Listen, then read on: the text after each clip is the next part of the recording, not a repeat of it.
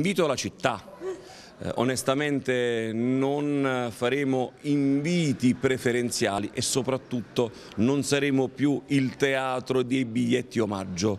Eh, questa rappresenterà una svolta culturale eh, non voglio criticare, non voglio commentare quello che è stato fatto in passato, voglio dire quello che farò io e se proprio il Teatro Pubblico Campano vorrà mettere a disposizione qualche ingresso omaggio lo farà per le fasce deboli, per quelle meno abbienti che non riescono, non hanno la possibilità economica di poter godere di alcuni spettacoli, questo atteggiamento troverà sempre il mio avallo. Il sindaco Festa termina così la conferenza stampa di presentazione del nuovo cartellone del Gesualdo. Non solo di spettacoli si è discusso, ma di cultura e gestione a 360 gradi. Sarà una fondazione di partecipazione a mettere a sistema tutte le strutture di Avellino compiute e incompiute, 51% pubblico, 49% privato, sano e competente, ha sottolineato il sindaco, specificando che senza un approccio manageriale e una sola testa pensante diventerebbe difficile difficile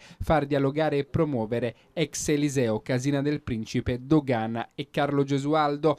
Festa terrà per sé la delega alla cultura. Giulio Baffi, presidente dell'Accademia delle Belle Arti di Napoli, supervisionerà il lavoro favorendo sinergie. Dunque sul sipario, sul nuovo cartellone. Il 12 ottobre start con Fiorella Mannoia. Nel corso dei mesi sfileranno Isa Danieli e Giuliana De Sio, il Don Chisciotte con Boni e Ilmaz, i soliti noti con Marchioni, ancora Momix fuori abbonamento, Preziosi, desideroso di esserci nella sua Avellino, Assisi, Brilli, Sgarbi, Ezio Mauro, a febbraio febbraio Ranieri in versione jazz.